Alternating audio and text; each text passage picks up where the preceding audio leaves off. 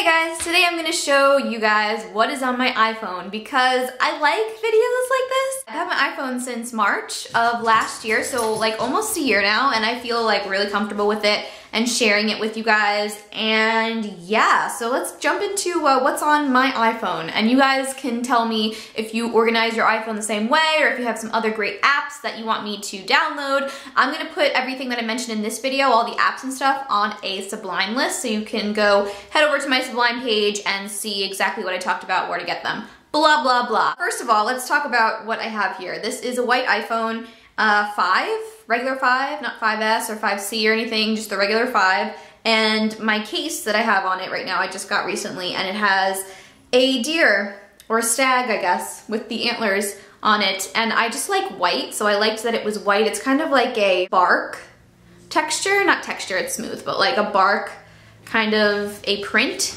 with this kind of Aztec-y print on top of the deer and I just love deer. They're like my favorite animal. So, and it was white, so I really liked it and I got it from Zazzle. I'll put this on my uh, Subblime list as well. Zazzle has some really great um, cases. Like they have millions of cases. They're really expensive, but if you have a coupon code, which you can often find, I used a coupon code, um, mine was half off. So when I turn on my iPhone, which it, I have a case on it, like one of these non-scratch things and it's like dirty on the bottom and gross. I have another one, I just haven't put it on yet because it takes like 12 hours to dry after you put it on.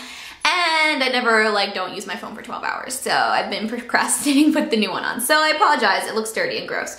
But yeah, so when I turn it on, my lock screen is this kind of like bokeh texture thingy and it just says, you know, slide to unlock and then I do so and my background on my normal phone screen is the same thing. So you see all my apps pop up right there.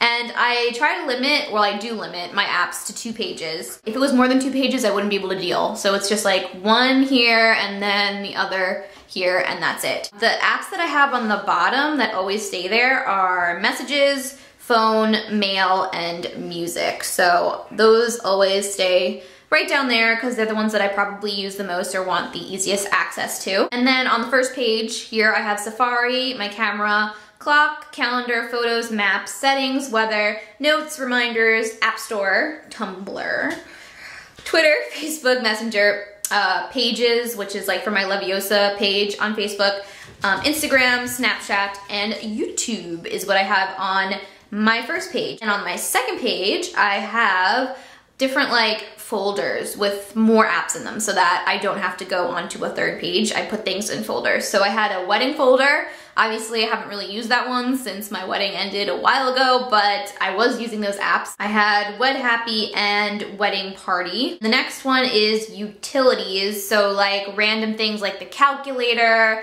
and what else is in here? Like the compass and FaceTime is actually in here. I don't know, just random things that I don't really use that much, utilities. Then the next one is travel. So I have other um, navigation apps.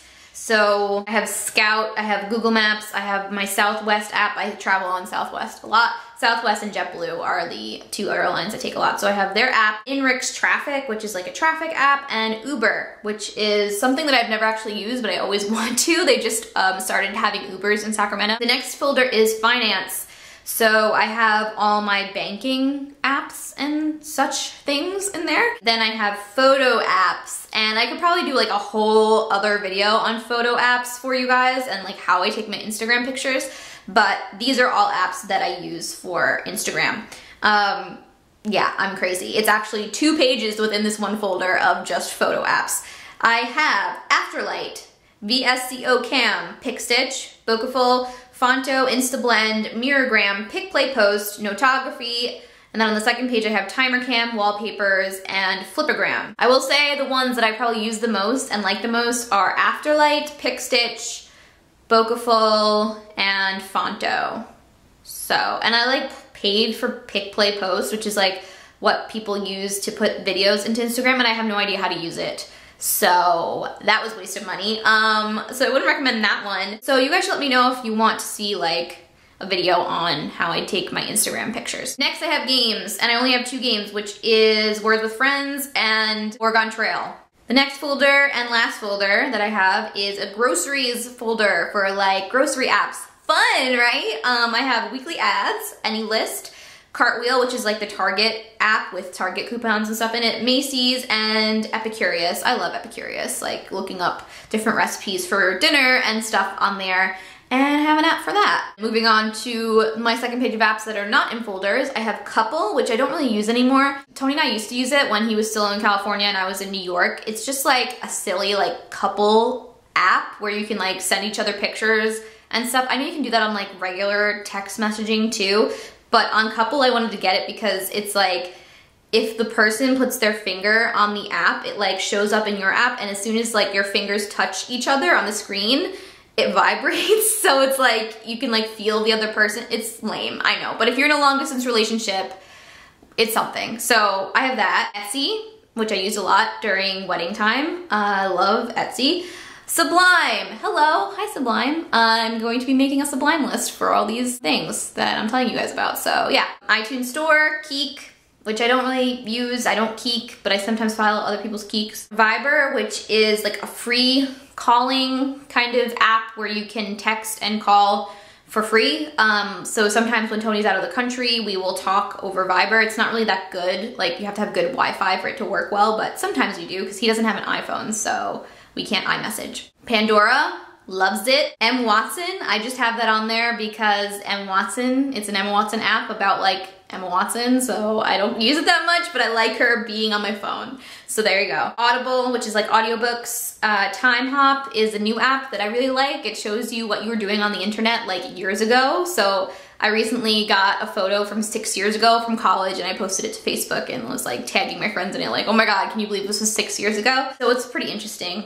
Bloglovin, another recent app. I have started subscribing to blogs and reading blogs, which I never really did before, um, but I wanna start my own kind of lifestyle blog and I need to really research how I wanna start it and how I like how other people do it. So I'm reading a lot of blogs recently. You guys can suggest blogs to me in the comments below as well. And then the last one is Yammer, which is kind of like Facebook for work. So for work, I use that.